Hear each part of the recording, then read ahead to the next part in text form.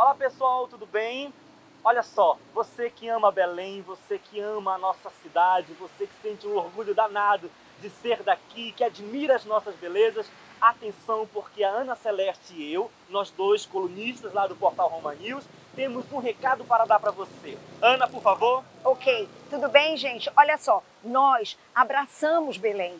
Eu e o Domingos, nós estamos no projeto Abraçando Belém, que é um projeto que reúne a sociedade civil organizada.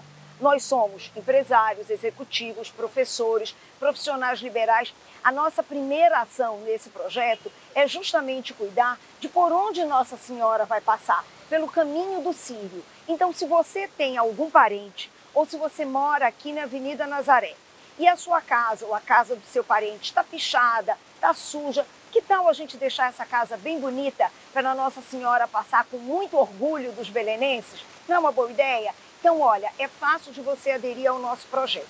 Basta que você entre em contato comigo ou com o Domingos pelas nossas colunas no portal Roma News e a gente te diz como é que você pode ajudar. Mas só o fato de você querer ajudar, de você abraçar esse projeto com a gente, já é muita coisa, gente. Então, olha, vem abraçar Belém junto com a gente também. É isso aí, pessoal. É um projeto absolutamente voluntário. Nós estamos aqui doando nosso tempo em prol da nossa cidade. Nós queremos deixá-la mais bonita para receber os turistas, para receber as pessoas que nos admiram. Vamos fazer sucesso não apenas pela nossa culinária, mas mostrar para o Brasil, para o mundo e para todos aqueles que vêm aqui nos visitar a beleza da nossa cidade, a beleza da nossa arquitetura, a beleza da nossa história. Abraça esse projeto, venha com a gente.